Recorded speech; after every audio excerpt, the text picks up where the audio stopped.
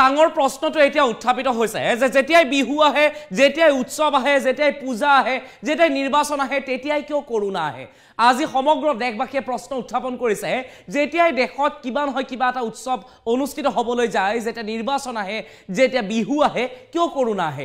এই মুহূৰ্তত ভয়ংকৰ ৰূপ ধাৰণ কৰিছে আমাৰ দেশত কভিডে। কভিডৰ ফলত এই মুহূৰ্তত ষোল্লজনৰ মৃত্যু হৈছে বুলি জানিব পৰা গৈছে।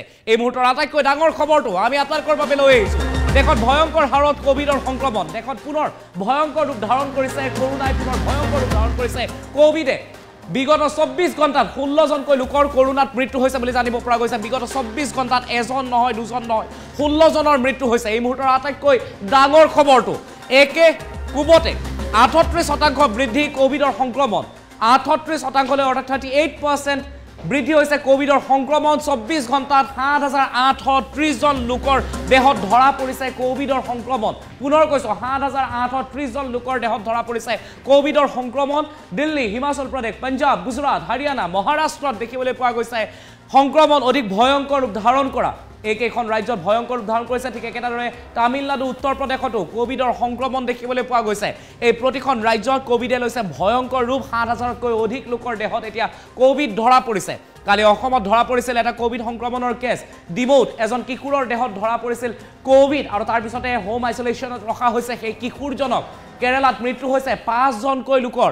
এই মুহূৰ্তত আমি আপোনালোকক জনাই আছোঁ ডাঙৰ খবৰটো কেৰেলাত কভিডৰ ফলত সংক্ৰমিত হৈ পাঁচজন লোকৰ মৃত্যু হৈছে। দ্ৰুত গতিত বৃদ্ধি পোৱা কভিডক লৈ স্বাস্থ্য মন্ত্ৰালয়ে জাৰি কৰিছে নীতি নিৰ্দেশনা বিভিন্ন নীতি নিয়ম। অৰ্থাৎ এক প্ৰকাৰে আপুনি এছ অ' পি বুলি যদি কয় তেতিয়াহ'লে ভুল কোৱা নহ'ব। মাস্ক পৰিধান কৰিবৰ বাবে সকলোকে আহ্বান জনোৱা হৈছে। বয়সস্থ লোক ৰোগী ৰোগীৰ আত্মীয় হাস্পতালৰ কৰ্মচাৰী সকলোকে হাস্পতালত মাস্ক পৰিধান কৰিবৰ বাবে নিৰ্দেশ প্ৰদান কৰা হৈছে।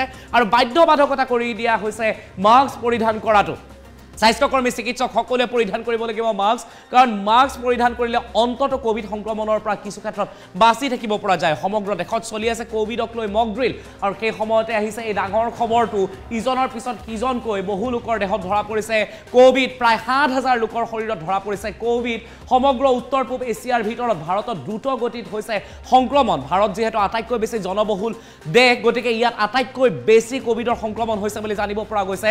হটস্পট চিনাক্ত কৰাৰ বাবে কেন্দ্ৰীয় চৰকাৰে দিছে নিৰ্দেশনা। অতি কম সময়ৰ ভিতৰত হটস্পট চিনাক্ত কৰিবৰ বাবে কোৱা হৈছে ৰাজ্যসমূহক সতৰ্ক হৈ থাকিবলৈ নিৰ্দেশ কেন্দ্ৰীয় স্বাস্থ্য মন্ত্ৰালয়ৰ একে সময়তে প্ৰতিখন চিকিৎসালয়ক সাজু হৈ থাকিবলৈ দিয়া হৈছে।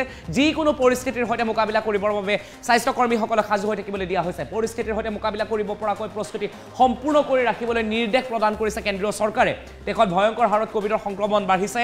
আজিৰ পৰা কিছুদিন পূৰ্বে দেশৰ প্ৰধানমন্ত্ৰী নৰেন্দ্ৰ মোদীয়ে এখন বিশেষ বৈঠকৰো আহ্বান কৰিছিল। সেই বৈঠকত নৰেন্দ্ৰ মোদীয়ে কৈছিল যে প্ৰতিগৰাকী লোকে কভিডৰ প্ৰতিটো নীতি নিয়ম মানি চলাটো দৰকাৰ যদিও আপুনি ভেকচিন লৈছে তথাপিতো আপুনি নাভাবিব যে আপোনাৰ দেহত কভিড নাহিব পাৰে বুলি। আপুনি যিকোনো মুহূৰ্তত হয়তো কভিডৰ চিকাৰ হ'ব পাৰে। গতিকে একে কোবতে যিহেতু আঠত্ৰিছ শতাংশলৈ বৃদ্ধি পাইছে কভিডৰ সংক্ৰমণ সমগ্ৰ দেশবাসীয়ে এই মুহূৰ্তত প্ৰশ্ন উত্থাপন কৰিছে যে দেশত যেতিয়াই উৎসৱ আহে বিশেষকৈ নিৰ্বাচন আৰু বিশেষকৈ বিহু বা দক্ষিণ ভাৰততো পোংগল অনুষ্ঠিত কৰা হয় আৰু এই বা মাঘ বিহুৰ সময়ত পোংগল বা অন্য অন্য উৎসৱবোৰ পতা হয় তেতিয়াও কৰোণা আহে। ঠিক বহাগ বিহুৰ সময়ত যেতিয়া বিভিন্ন ৰাজ্যত অন্য অন্য উৎসৱ অনুষ্ঠিত হয় তেতিয়া কিহৰ বাবে কভিড পুনৰ আহে ৰাইজে প্ৰশ্ন উত্থাপন কৰিছে। বিশেষকৈ অসমৰ জনতাই একেটা প্ৰশ্ন উত্থাপন কৰিছে যে বহাগ বিহুৰ সময়তেই কিয় কভিডৰ সংক্ৰমণ দ্ৰুত গতিত বাঢ়ে?